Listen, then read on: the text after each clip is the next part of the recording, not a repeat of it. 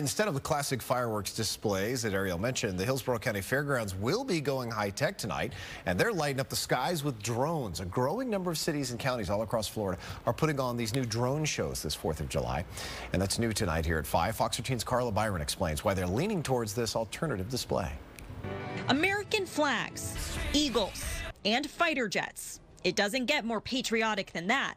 All these configurations created using drones. Drone is essentially like a pixel in the sky, so uh, it's we're essentially painting in the sky with pixels. Some communities are putting typical fireworks on the back burner this year and are instead doing these kinds of spectacle of lights. The Hillsborough County Fairgrounds will have 100 drones in the sky this 4th of July. And in Ocala, the city is hosting the Patriotic Skies, a 4th of July drone experience, its first ever drone show. The 15 minute show features more than 300 drones. Organizers say they replaced the fireworks show because drones are more inclusive and environmentally friendly. Once again, some communities have burn bans, especially out west where you have to worry about wildfires. Since there are no flashes or loud explosions,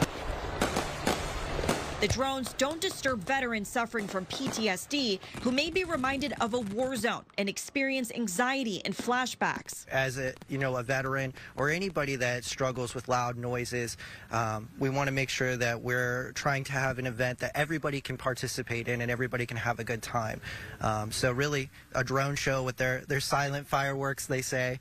Uh, will uh, be excellent for anybody and every family to come. They also don't disturb pets or wild animals like black skimmers, which are a threatened species of shorebird on St. Pete Beach and Redington Shores, which have banned personal fireworks. And so the birds fly away immediately because they think they're under attack, which a loud boom makes it seem like you're under attack. And so that's pretty stressful for the birds. And as a result, that changes their behavior. They get cranky, they get antagonistic, they fight amongst themselves, they don't protect their young, things like that.